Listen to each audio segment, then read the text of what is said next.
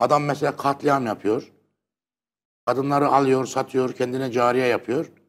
Sonra diyor ki peygamberimiz de böyle yapmıştı. Bu nasıl meşrulaştırılacak? Müslümanlar, kendini Müslüman olduğunu iddia edenler tarih boyunca nice haltlar yemişlerdir ve yedikleri haltları hep hadis uydurarak peygambere mal etmişlerdir. Peygamber de böyle yaptı. Peygamber de katletti.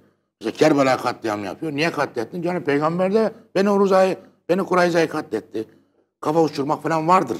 Zaten peygamber de yapmıştı. Ali de yapmıştır Zülfikar'la. Filan diyerekten bunlar hep meşrulaştırıyorlar. 14 asır geçmiş böyle.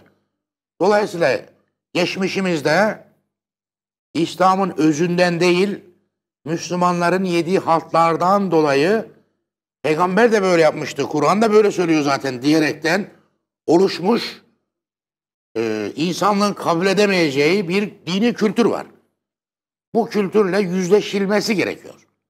Biz şu anda bunu yapıyoruz. Bununla hesaplaşılması gerekiyor. Bunun bir kenara bırakılması gerekiyor. Doğrudan doğruya Pınar'ın kaynağından içilmesi gerekiyor. Kur'an'da da birkaç tane ayet var.